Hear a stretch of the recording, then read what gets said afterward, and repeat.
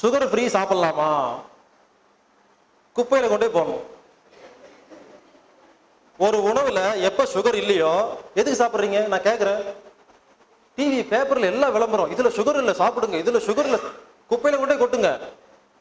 ஒரு உணவு எதுக்கு சாப்பிடுறோம் தெரியுமா? இட்லி வடை போண்டா பொங்கல் ஆனியன் தோசை எல்லாத்தையுமே சாப்பிடுறோம்? அதுல சுகர் இருக்குது. முடியிருந்து நகை வரைக்கும் நம்ம உடம்புல இருக்கிற எல்லா செல்லும் சர்க்கரை நம்பி தானே வாழுதுன்னு டிவியில பார்த்திருப்பீங்கல்ல? அப்போ ஒரு சுகரே இல்லாத ஒரு பொருள். எதுக்கு சாப்பிடுறீங்க முதல்ல? புரியல எனக்கு. சுகர் இல்லாத எந்த பொருளையும் நம்ம சாப்பிடவே கூடாது. தேவையே இல்லை. அது என்ன தெரியுங்களா?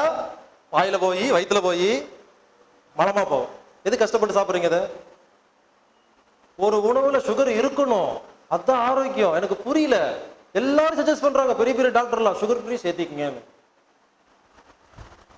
சுகர் ஃப்ரீ மட்டும் யாராவது சாப்பிட்டு உயிரோட இருக்க முடியுமா? என்கிட்ட சொல்லுங்க பார்க்கலாம். இட்லி மட்டும் சாப்பிட்டு உயிரோடு இருக்கலாம். வடை மட்டும் சாப்பிட்டு உயிரோடு இருக்கலாம். கொத்து புரோட்டா சாப்பிட்டு உயிரோடு இருக்கலாங்க. சுகர் ஃப்ரீ மட்டும் சாப்பிட்டு உலகத்தில் எவனாலும் உயிரோடு இருக்க முடியாது. செக் பண்ணி பாருங்க. சுகரே இல்லை. அப்புறத்துக்கு சாப்பிட்றீங்க அதை அதுக்கு மேலே இரநூத்தம்பது ரூபா. சின்ன டப்பாவாக இருக்கும். ஆனால் கீரை கீரைக்காரட்டு போய் சண்டை. ஒன்னாயிரம் ரூபா கீரைக்கு. அது மட்டும் இரநூத்தம்பது ரூபா கொடுத்து வாங்கிக்கிறது. சுகர் ஃப்ரீ சாப்பிட்றாங்கன்னு. தயவு செய்து கொண்டு குப்பையில் போடுங்க. எந்த உணவில் சுகர் இல்லையோ அது மனிதனுக்கு தேவையில்லாத ஒரு பொருள். அடிப்படையே புரியல சுகர்னா என்னன்னே புரியல.